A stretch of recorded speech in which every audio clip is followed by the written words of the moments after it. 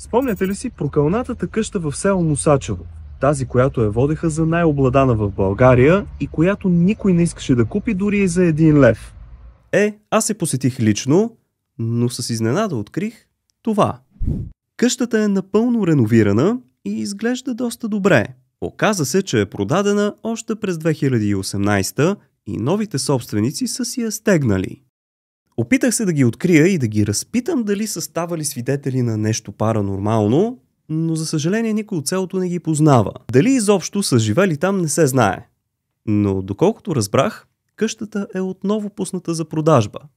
Този път обаче цената е 160 000 евро, а не 1 лев. Можем да кажем, че митът за къщата в Мусачево е разбит. Поне за сега.